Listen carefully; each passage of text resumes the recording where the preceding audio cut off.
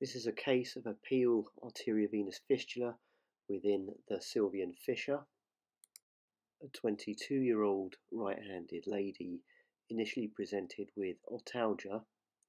On careful history taking, was found to have an associated right uh, pulsatile tinnitus. She had no past medical history and no neurological deficits on examination with normal hearing. This led to an MRI scan, which shows here this dilated uh, venous varix, which indicates an arteriovenous anomaly within the right sylvian fissure.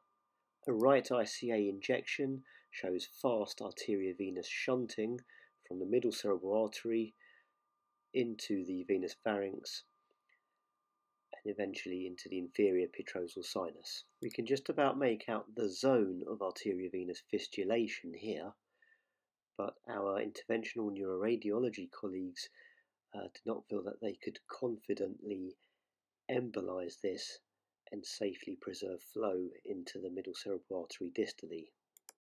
These are very rare lesions characterized by a single or multiple arteries feeding directly into a vein.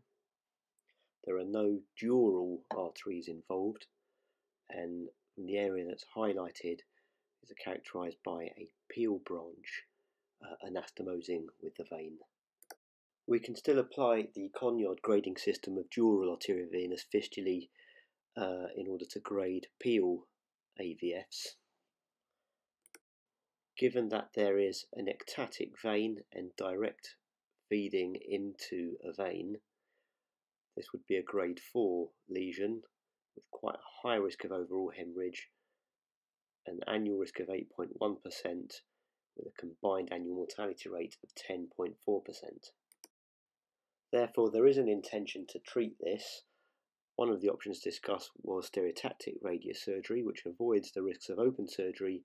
However, there is a delay in its closure as mentioned, the endovascular option was also considered.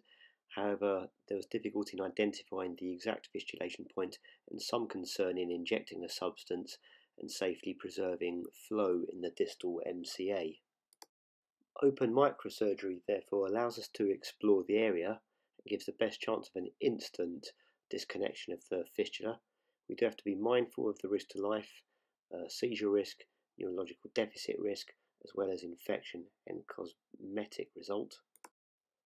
But on weighing things up, we felt this was the best option for achieving a cure. The surgery is carried out through a mini pterional craniotomy as shown. Prior to the craniotomy, a subperiosteal subfascial flap is reflected and the temporalis is disturbed and retracted inferiorly to achieve bony exposure for the craniotomy, and this will be described in a separate video.